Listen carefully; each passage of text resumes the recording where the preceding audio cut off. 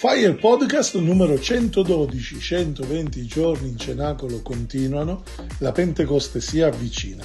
Oggi prendiamo Luca 24:49 dove Gesù ci dice ed ecco io mando su di voi colui che il Padre mi ha promesso, ma voi restate in città, Gerusalemme, non siate ri, finché siate rivestiti di potenza. In tempi passati la Pentecoste era celebrata per ricordare la promessa che Dio faceva al suo popolo, cioè un Messia che ci avrebbe liberato dalla sofferenza e dalla colpa. Per questo è ancora un momento significativo anche per noi. È l'occasione ideale per ricordare il progetto d'amore e di salvezza di Dio per noi.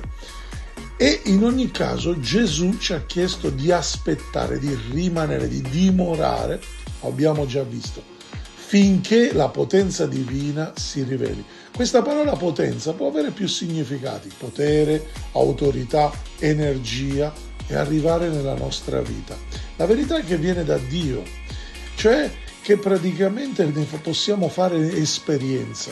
Quando siamo rivestiti di questa potenza di Dio, possiamo vedere le cose in modo diverso, col suo sguardo. E le parti buone che Lui mette in noi possono costruire questo progetto d'amore e di pace con la compassione divina che Lui mette nel nostro cuore, con la sua misericordia. Ed è lì che le, dalle parole si passa all'azione. Quando ci prepariamo spiritualmente alla Pentecoste, riconosciamo cosa significa veramente essere rivestiti della potenza di Dio. Impariamo che per usarla significa costruire un rapporto profondo con Lui, entrare veramente nel suo piano d'amore e incontrarlo nella preghiera, nelle, negli atti, nelle azioni di ogni giorno. E in questa maniera siamo liberati dai fra, fraintendimenti, tutto quello che sembra ombra non è luce, non è la luce di Dio.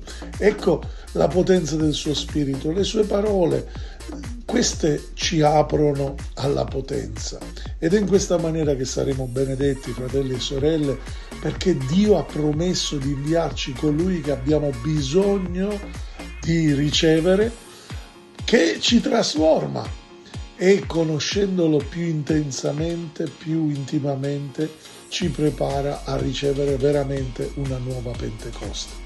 E questa nuova Pentecoste noi vogliamo viverla in due date per l'Italia, il 17 giugno a Torino e il 22 luglio a Enna e se sei d'accordo iscriviti anche tu ai nostri eventi che noi chiamiamo Fire Days Sveglia Italia.